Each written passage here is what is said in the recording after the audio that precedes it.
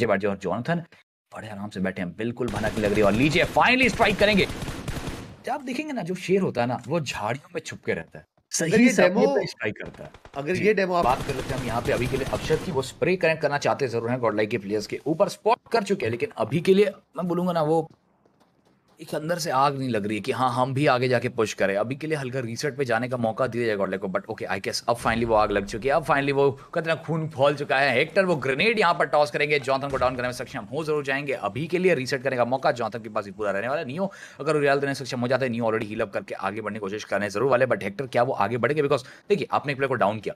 You know the drill smoke balls create कीजिए धीरे करके आगे बढ़िए। हल्का हल्का करके पीक करते चलिए और एक ग्रेनेड टॉस कीजिए, कोशिश वही थी, लेकिन लीजिए पीछे बैठा प्लेयर जो कि गॉड लाइक एस पावर एक बढ़िया कवर यहाँ पे प्रोवाइड करेंगे ना। Akshat is the only man starting for the team पूरे तरीके से फंस चुके हैं। दो अलग अलग एरिया से यहाँ पे प्लेयर्स बैठे हैं। कॉर्डले के स्प्लिट पे। And now it is gonna be a 4v1 जहाँ पे Akshat I don't think I don't think वो यहाँ पे इतने आराम से बच के निकलने वाले हैं।